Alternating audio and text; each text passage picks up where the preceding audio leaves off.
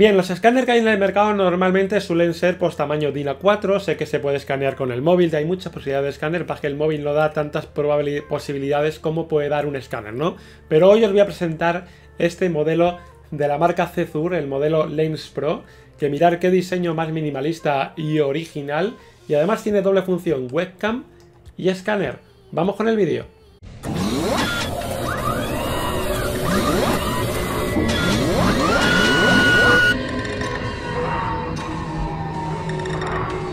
Bien, como he dicho, se puede utilizar de webcam y de escáner, pero bueno, lo que más eh, potente es en este caso es la opción del escáner. Bien, lo primero que tenemos que hacer es conectar el dispositivo, el escáner, a nuestro PC con un eh, cable USB tipo A y luego al, a lo que es el escáner va tipo C. Se mete por debajo y podemos meterlo por diferentes ranuritas dependiendo de donde lo pongamos para que no nos moleste ni se desestabilice. Una vez enchufado, pues nos podemos bajar los drivers de la página oficial. Ya os digo aquí cómo se baja, dónde están y cuál tenéis que bajar. Se baja enseguida. Si no tenéis internet en ese momento, estáis en un sitio que no tenéis acceso a internet, también viene un CD-ROM dentro de la caja. Dentro de la caja lo que nos viene es el propio escáner, nos viene el cable, nos viene el CD-ROM y nos viene como una especie de alfombrilla que es la que vamos a poner y sobre la cual vamos a poner los documentos a escanear. Bien, como he dicho, tiene doble función, webcam, si lo tenemos tal cual, la cámara apunta hacia nosotros, es decir que en este caso queda muy baja, pero abajo tiene una rosca universal para poder un trípode y ponerlo un poco más arriba. Pero luego si lo abrimos, se abre la patita, sale la cámara hacia arriba, apunta hacia abajo, queda en un ángulo recto, se enciende una lamparita LED de forma automática que podemos apagar con el botón de power que hay ahí y automáticamente ahí debajo ponemos nuestra alfombrilla y podemos escanear todo de manera súper sencilla.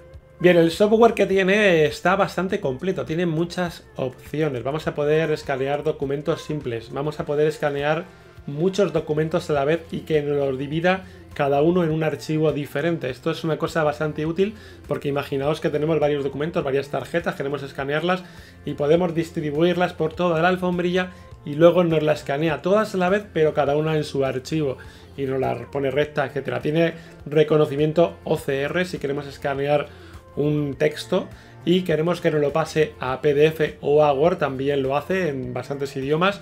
En este caso también está bastante bien y ya os digo, ah, luego también podemos escanear un DNI por doble cara, en fin, la verdad es que está muy bien, así que a continuación os voy a enseñar cómo funciona el software desde mi portátil. Así que no, no perdáis la atención que a continuación os lo muestro. Bien, vamos a hacer, os voy a enseñar las diferentes pruebas de escaneo que tiene, los diferentes modos que tiene, ¿vale? Empezando por el modo normal, que es el de escanear un documento normal y cualquiera. Por ejemplo, puesto aquí este cuadernillo de problemas y simplemente lo ponemos ahí, le damos a escanear y automáticamente en muy poquito tiempo nos va a dar un escaneo de esto. Nos lo pone en una foto y como veis está perfecto, es increíblemente perfecto.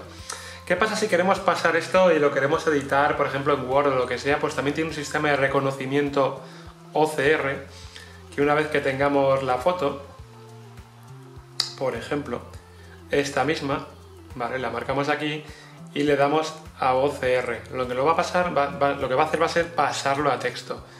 Español, ¿vale? Para que nos ponga los acentos y todo eso y por ejemplo tenemos para elegir en PDF o en Word, lo que queramos, ¿vale? Por ejemplo, si ponemos en Word, lo podemos editar de manera más fácil, si queremos editarlo.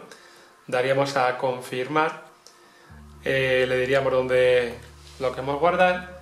Bueno, pongo aquí por ejemplo problemas y le damos a guardar. Vale, va a tardar un poquito ahí, carga, implementa y ya lo tenemos.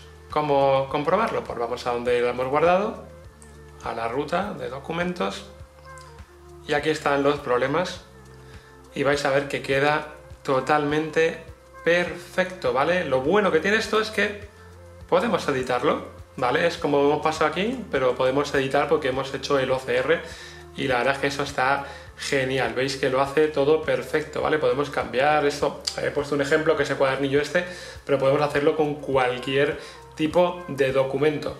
Bueno, una vez que estamos aquí y damos aquí a la llavecita y tenemos diferentes opciones, ¿vale? Podemos poner paginación multidestino, ahora os explicaré qué es, optimización inteligente del borde, reparación automáticamente, automática de páginas. ¿Esto para qué sirve? Pues, eh, por ejemplo, si tenemos aquí una esquina doblada, vale, voy a doblarla así un poquito, que no va a dejar porque es muy gordo, pero voy a intentar doblar la esquina, vale, ahí, y lo que vamos a hacer va a ser intentar corregirlo, ¿vale? Le damos aquí a reparación automática, también con el borde negro y vais a ver que lo va a escanear y le va a añadir ahí un poquito. ¿Veis? Mirad lo que ha escaneado.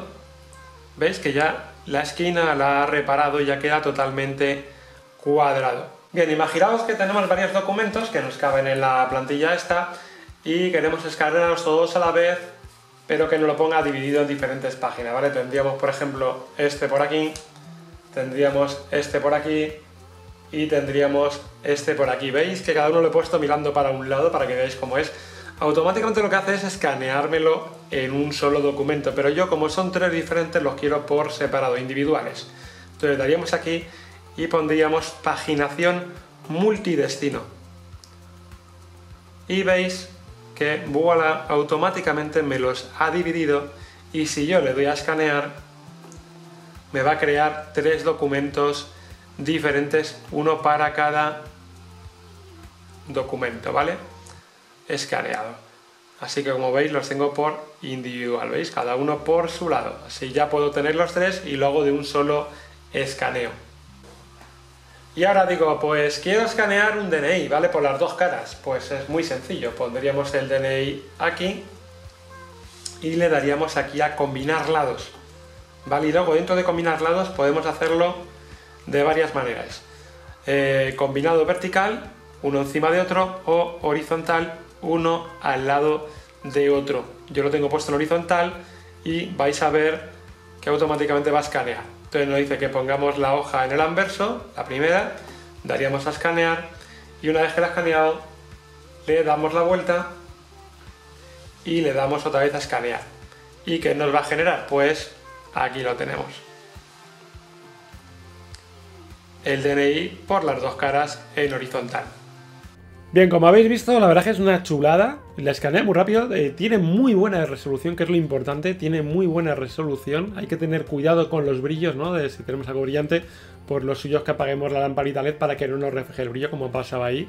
Lo he hecho así para que veáis que efectivamente si es una superficie brillante, como puede ser un plástico de estos, por ejemplo, pues va a rebotar la luz. Entonces hay que apagar la luz ahí y aún así tiene muy buena resolución.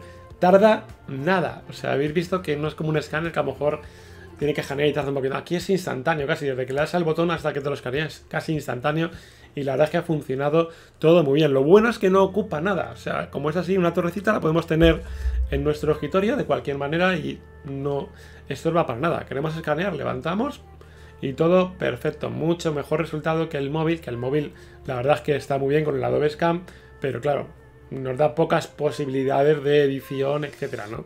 Es más potente un escáner de este tipo. Así que eso es todo por hoy, espero que os haya gustado el vídeo y nos vemos en el siguiente. Un saludo y hasta luego.